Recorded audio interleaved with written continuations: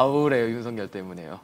아, 그좀 아까 이재경 박사 얘기하신 게 맞죠, 그죠? 되게 속 시원했어요. 제 마음 속에 있는 말씀해주신 것 같아가지고 네. 아 시원하더라고요.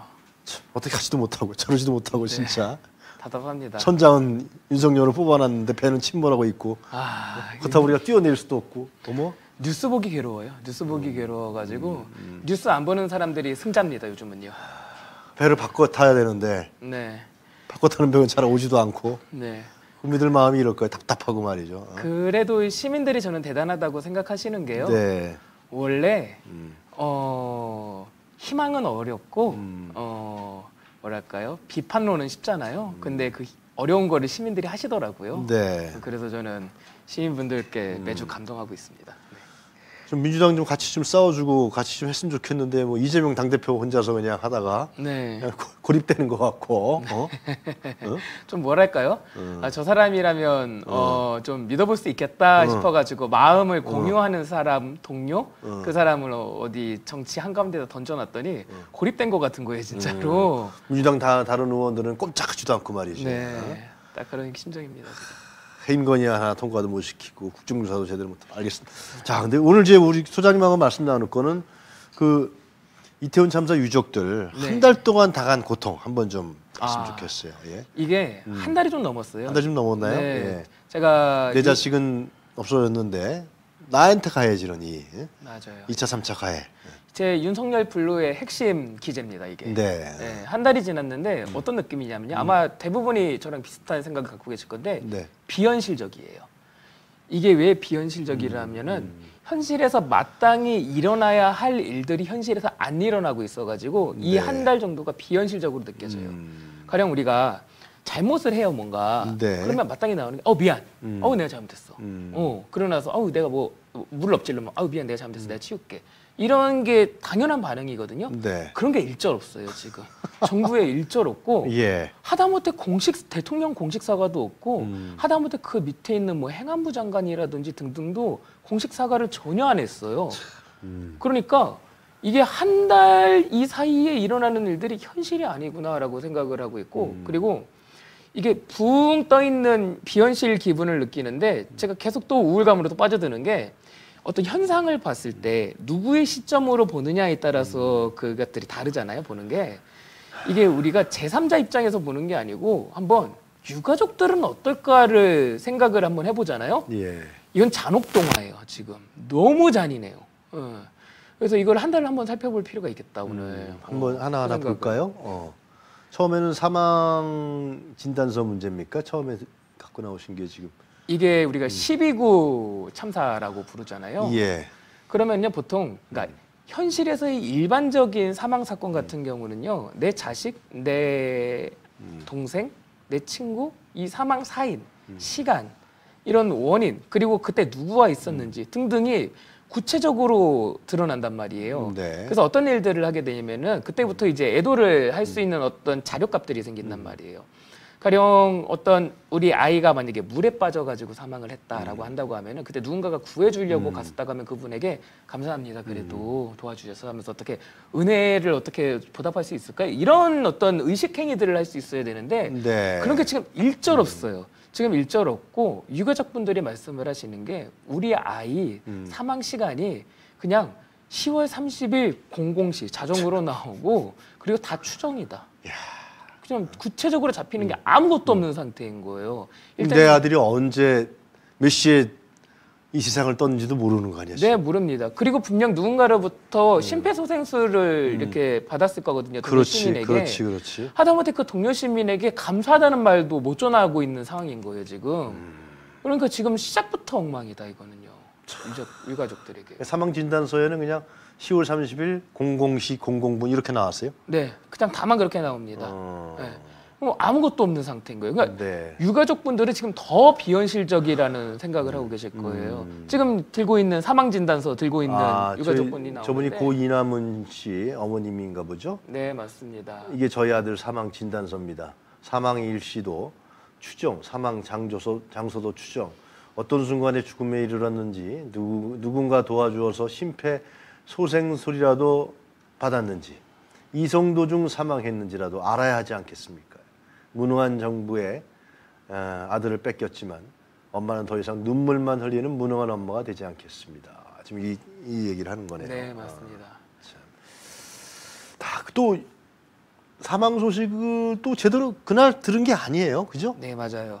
이 다음 날 어. 이제 그 점심이 지나서. 맞아요. 자녀라든지 이렇게 이제 음. 행정 처리가 돼서 들은 건데 음. 이게 어 저도 언젠가 와서 말씀드렸는데 네. 29일 대한민국 전체 가구가 거의 전체 가구가 같은 경험을 했어요. 음. 예. 어, 같은 어떤 20대 초중반의 조카라든지 친구, 네. 지인을 둔 가족들이 그때 모두 다 비상에 걸렸었는데 근데 그 연락이 모두 다 취해지는 건 아니잖아요. 그리고 일찍 잠드신 분들도 계시고 네. 그래서 유가족들 입장에서는 다음 날 깨가지고서 이제 연락을 받아가지고서 본인 자녀가 그렇게 사망했다는 소식을 들은 문제도 있고 네. 그러니까 초동 조처가 빠르지 않았다는 것에 대해서 는 모두들 공감하시니까는요. 네. 어. 그런 문제가 있죠. 어.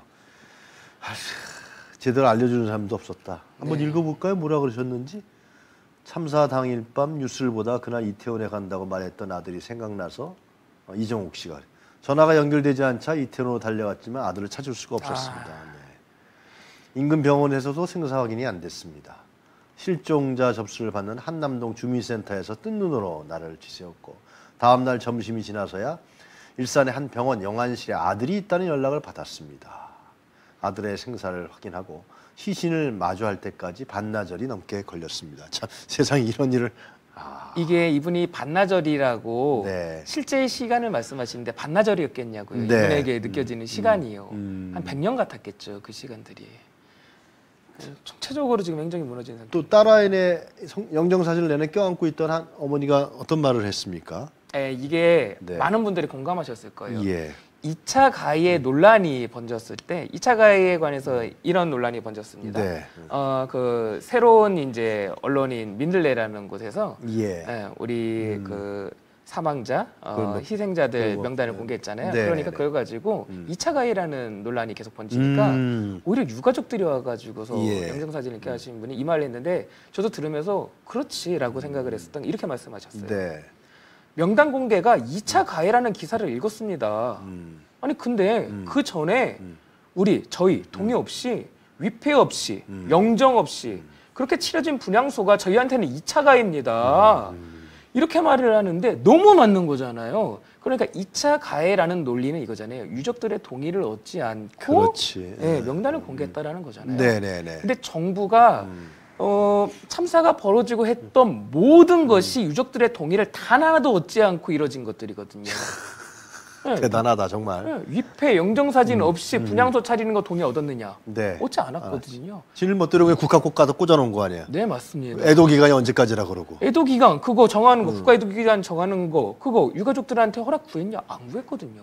자기네들이 정한 거 아니야? 네. 그렇게 허락을 구하지 않고 하는 네. 게 2차 가해라고 규정을 한다면은 음. 정부가 한 모든 행정의 행기는 다 2차 가해가 됩니다. 지금 엉터리인 거예요, 진짜로. 저는 이 너무 공감했어요. 유가족분들이 음. 이렇게 말씀하셨을 때 맞습니다. 저도 그렇게 생각합니다. 그리고 또 뭐 위로금 2천만 원 뭐 이거는 바로 장례비 바로 줬다요.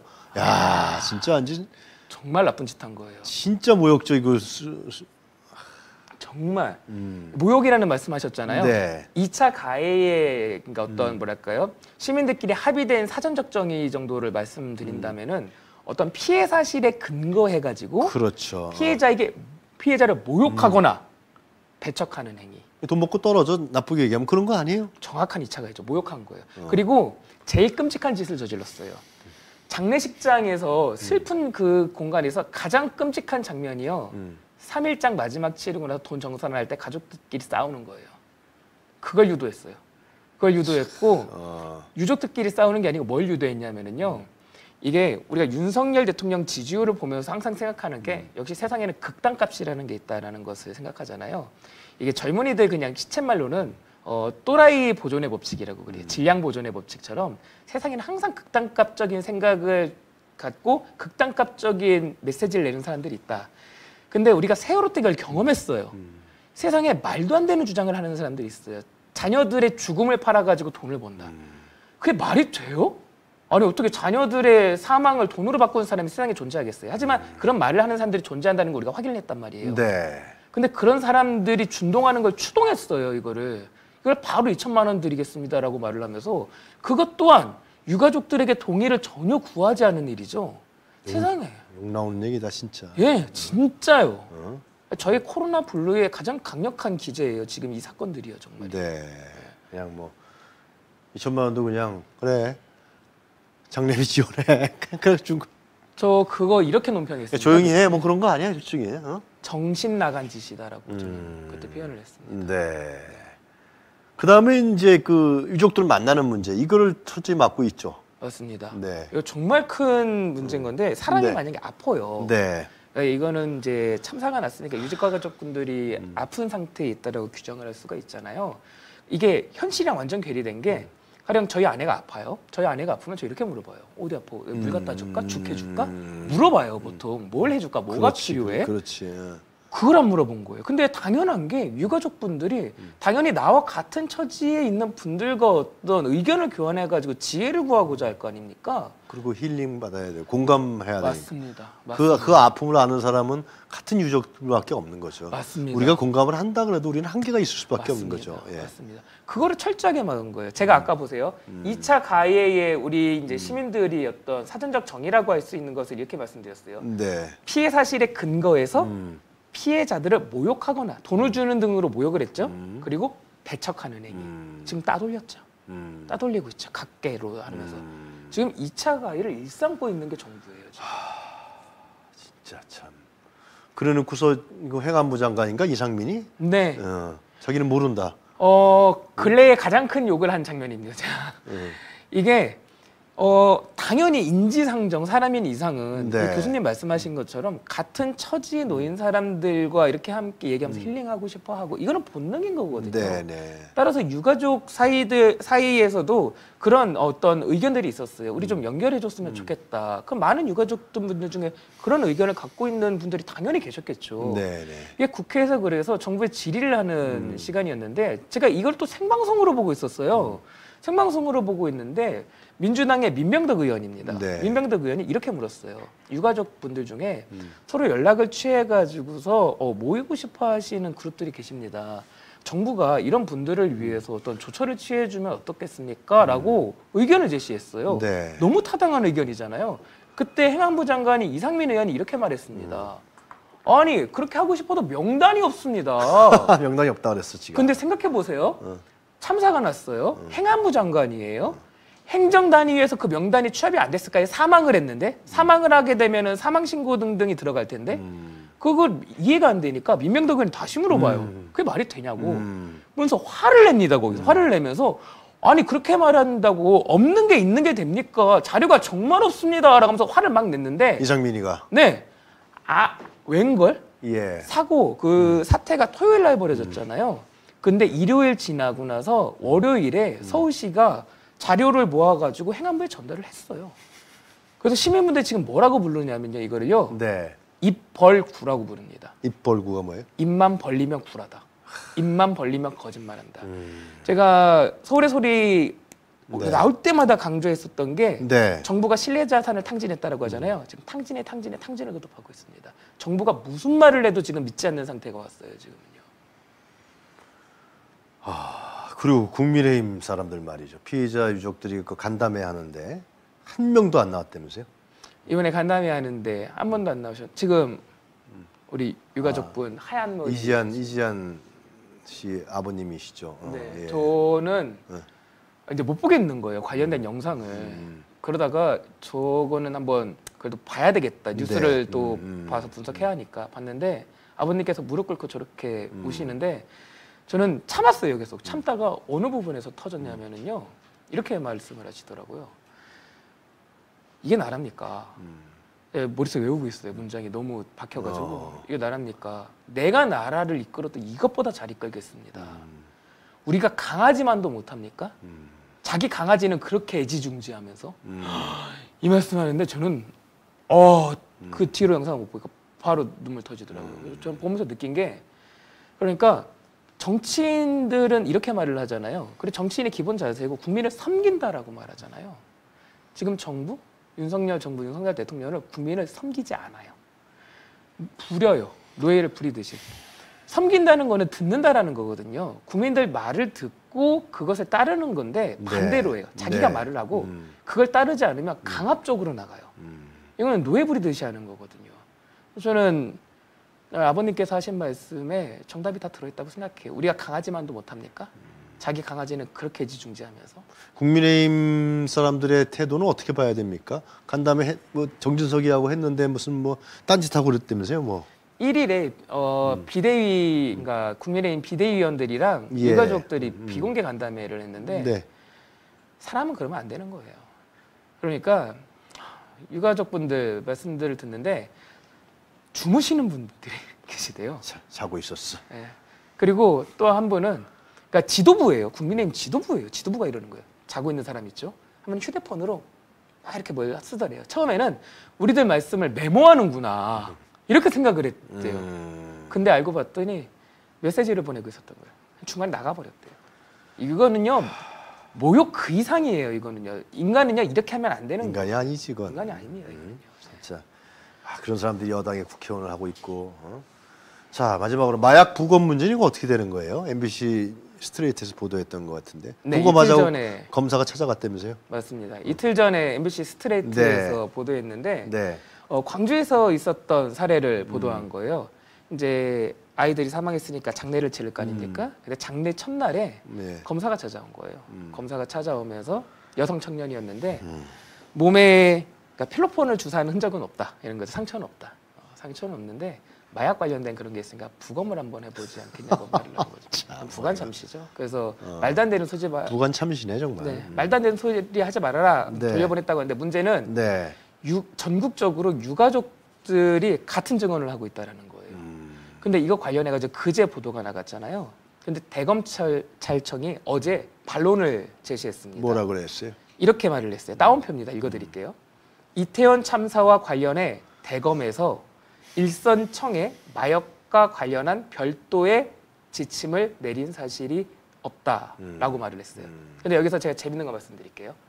어, 검찰들 특유의 화법이 있어요. 그걸 이해하셔야 돼요. 검찰들이 단서나 조건을 달잖아요. 정답은 그 단서나 조건 바깥에 있어요. 무슨 말씀을 드리는 거냐면요. 어, 가까운 과거에 노무현 재단 금융계좌 조회했던 사건 한번 떠올려 보세요. 그때 유시민 이사장이 이렇게 말을 했어요. 검찰이 노무현 재단, 재단 계좌 열람했다. 그러니까 검찰이 이렇게 반박을 했습니다. 신라젠 사건 관람해서 열람한 적 없습니다. 그래서 유시민 이사장이 사과를 했죠. 주장을 했는데 제가 논정하지 못했습니다. 근데 재판 과정에서 무슨 진실이 드러났어요? 신라젠 사건 관련해서 계좌는 안 열어봤는데 별건으로 열어봤지롱. 음. 이런 거예요. 그러니까 이 말은요 다시 이렇게 물어봐야 돼요. 대검이 이렇게 단서를 달았어요. 이태원 참사와 관련해 대검에서 일선청에 마약과 관련한 별도의 음. 지침을 내린 적이 없다. 그럼 시민들은 이제 이렇게 물어봐야 돼요. 단서를 달았잖아요. 여기에 별도의 지침 내린 적 없으면 그 별도의 지침 말고 다른 지침 내릴 때 함께 내린 적 있습니까? 라고 한 번 더 물어봐야 돼요. 저는 이렇게 물어봐야 된다고 봅니다.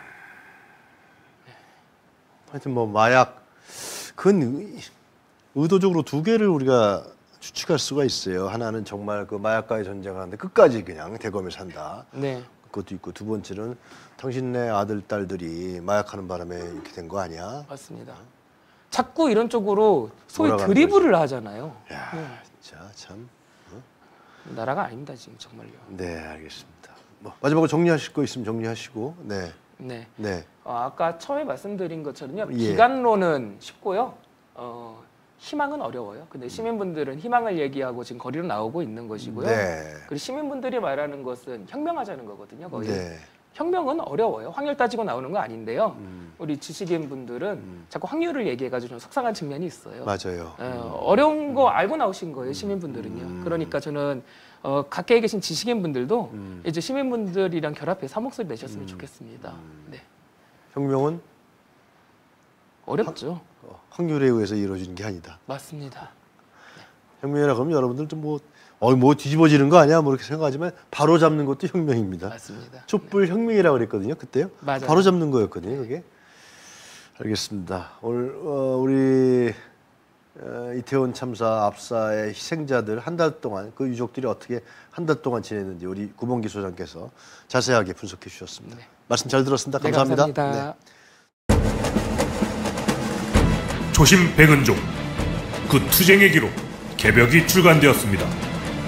윤석열의 등장을 예언한 채 개벽 검찰 공화국을 막아라 무소불위의 검찰을 그동안 아무도 건드리지 못했다. 검찰을 손볼 세력이 어디에도 없었기 때문이다. 하지만 뛰는 검찰에 나는 국민이 있다. 전두환 군부 독재와 이명박근혜 정권마저 붕괴시킨 촛불 시민들이 그따위 검찰 출신 나부랭이들의 복고에 굴하겠는가? 위기의 대한민국 윤석열 검찰공화국에 맞서 싸울 촛불 시민들의 투쟁의 지침서 조심 백은조 국가와 민족을 위한 그 투쟁의 기록 개벽 여러분의 지지와 성원을 기다립니다. 감사합니다.